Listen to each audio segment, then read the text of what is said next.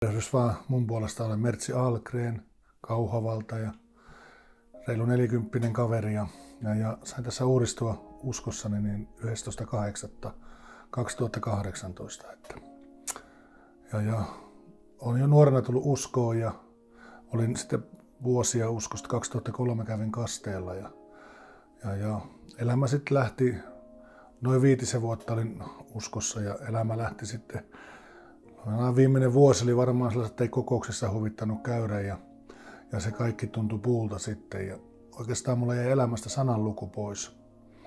Ja sitä kautta se hiilos rupesi sitten pikkuhiljaa sammumaan siellä ja, ja, ja se liha, mikä ihmisessä on ja ne omat lihahimot, niin ne pääsi valtaamaan. Ja pikkuhiljaa sitten tapahtui lipeäminen maailmaa ja, ja, ja sitä saatiin seurata monta vuotta, että se tapahtui joskus 2007 kun lankesin sitten maailmaan ja, ja, ja sitä kautta elämä oli ennen sitä kyllä hyvässä kunnossa, että Jumalan, Jumalan huolespidossa ei olla. Ja sitä kautta sitten kun lähdin maailmaan, niin elämä rikkoutui monella tapaa ja, ja, ja päihteet oli elämässä ja alkoholi oli, näytteli suurta roolia mun elämässä. Ja, ja, ja sitten mun elämässä myös aukesi vankilan portit sitten ja 30 kaverina avasin vankilan portit ja ja, ja menin katsoa sitten sitä maailmaa, miltä se näyttää ja, ja, ja se on oma puolensa elämässä, mutta sitä kuitenkin, niin mulla oli aina kaipuu kuitenkin, kun sanon maistaa sitä Jumalan rakkautta. Niin se oli aina siellä niissä hetkissä, kun mä olin yksinäisyydessäkin, niin aina se tyhjyys ammutti sillä sisällä ja, ja, ja mä tiesin, mitä se on se ääni, mutta ihminen oli jotenkin heikko ja voimaton sanomaan sille asialle, että joo.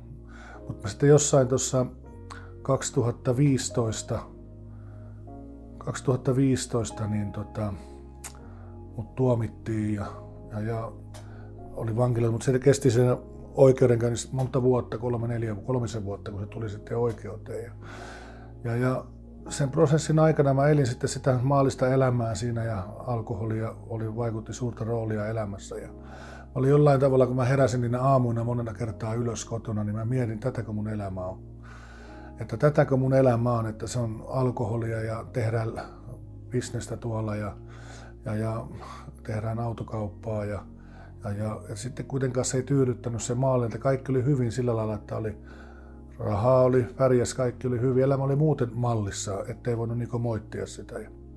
Mutta se sisäinen tyhjyys valtas aina, mietin monina aamuna, kun mä heräilin ylös, niin mietin sitä elämän niin perusasioita, tätäkö tämä elämä on ja, ja mitä mä voin lapsilleni antaa. Ja, ja, ja. Mutta sitten kuule eräs ryyppyreissu sitten viikonloppuna oli juonut ja tuli sunnuntai-päivä ja se valtasi se ajatus sitten, se hirvittävä tyhjyys mun sisällä ja se kaipaus Jeesukseen yhteyteen, sitä mitä mä olin kokea ja maistaa nuoruudessa mun elämässä. Niin mä kun näin muita uskoviakin, niin mä aina, että voi että kun mun elämä olisi tossa osassa kanssa. Ja mä yritin, mutta omat voimavarat ei riittänyt. Mä sanoin Jeesukselle sitten, että Jeesus, että mulle on itsellä voimaa, mutta anna sä mulle voimaa ja tuu mun elämään. Se tuli 11.8. ja, ja, ja hän sunnuntai-aamu ja heräilen siellä ja mulla on pieni poika siinä, Richardin niminen. Ja se oli mun sylissä siellä ja mä mietin elämää. Ja menin sitten saunaan ja, ja, ja sanoin mun vaimo oli uskossa Sarita ja kerro häntä rukoile mun puolesta.